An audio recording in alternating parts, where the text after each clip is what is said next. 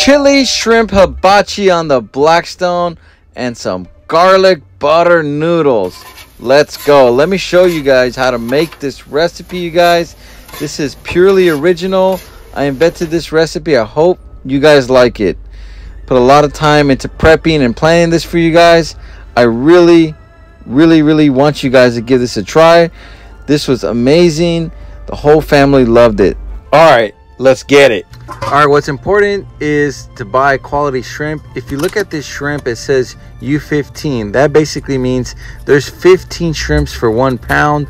The higher the count, the smaller the shrimp. Just a tip if you didn't know, okay?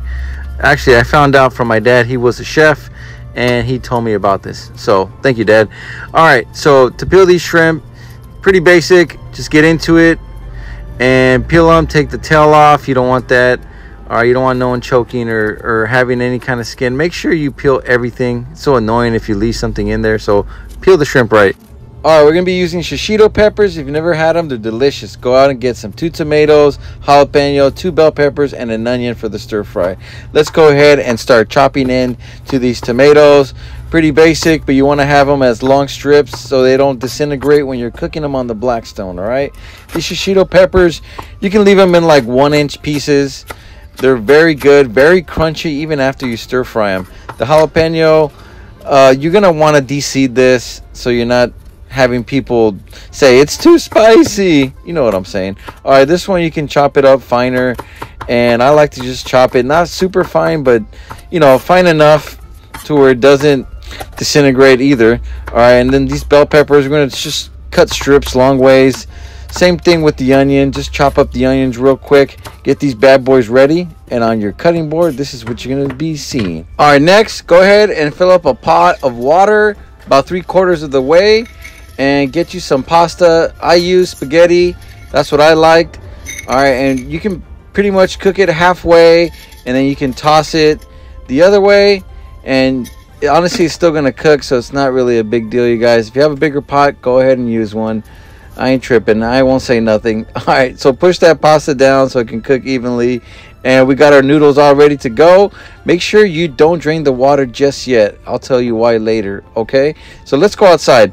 All right so we got some soy sauce some soyaki some garlic and some chili crisp sauce and a fresh fresh shrimp from Costco. So delicious.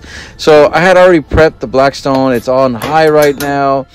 I oiled it and I need to have a brewski when I cook so I got me a Modelo. All right, now get your stir fry out and toss it into your Blackstone. And what we're gonna do is we're just gonna toss and turn this thing for about five minutes. I don't want you guys to overcook these vegetables because that's a big deal. Because once you get towards the end of the cook, they're gonna be soggy. So do not overcook these. Cook them about halfway. So let's start with some soy sauce. All right. Start getting some tanginess in there. Get some color. Get some garlic in there. Minced garlic works. You get fresh garlic if you want. I had minced garlic that's what I use. Give it a toss. Give it a turn, baby. All right. Next, get some butter. I just took a small slice of butter. I'm not crazy about putting a ton of butter. I just put a little bit. All right. Now get some soyaki. This is the magic sauce. This is the crack, man. I love this stuff. All right. Anytime you stir fry, make sure you have some soyaki. All right. All right. Toss and turn that bad boy. And it's starting to get some color. Smelling really, really good right now. All right. So now that they're pretty much halfway, I got my shrimp put my veggies to the side. I got my flavor god, which is just like an all-purpose seasoning. Sprinkle it on the shrimp and on all the veggies. Spicy chili crisp. This is delicious. Okay, that panda has nothing on this. All right, if you're be listening, panda, you ain't got nothing on this, man. All right, so this shrimp, so delicious. Just put some chili crisp on there and give it a toss, give it a turn, and make sure you don't overcook the shrimps too. Cook them about halfway all right? And now you can go ahead and put those shrimps to the middle. And but first you want to flatten them out get them some char on there before you do that all right? And I, I went ahead and cooked these shrimps for about five minutes as well. Everything cooks fast on this blackstone. All right the two right burners are off right now starting to cool down. Keep your two left burners on high. Put some butter on there and get your boiled noodles out and go ahead and toss them in there and toss it for about five minutes. Starting to get some color and char on that as well. And go ahead and mix your shrimp and all your veggies together at this point. All right don't skip don't skip this step all right? Cover it for one minute and then now you're done. So at this point, you take it all out and you start plating it. And look at this. I had some fresh cilantro. I didn't show you guys when I cut it, but I did put it on top. And I put some more chili crisps on top just to look so dang presentable. Oh my God. Now this is a moment of truth. Is it good? Let's find out, man.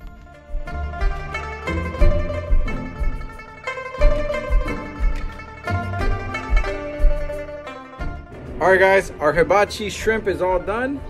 As you can see, looking delicious. So let's give it a bite.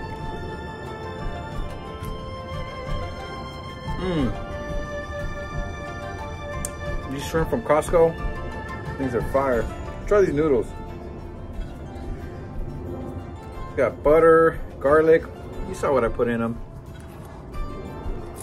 Mmm. It's a 9 out of 10 right here. This is good. Let's try some of the veggies. Mmm. Perfectly caramelized, not overcooked. Still got a snap to them. When you're cooking veggies on the Blackstone, gotta have that snap. Bet you didn't think you were gonna put these in there. Oh. That gives it a whole nother level. All right, guys go ahead and give this video a thumbs up like share and try this recipe out. Let me know if you liked it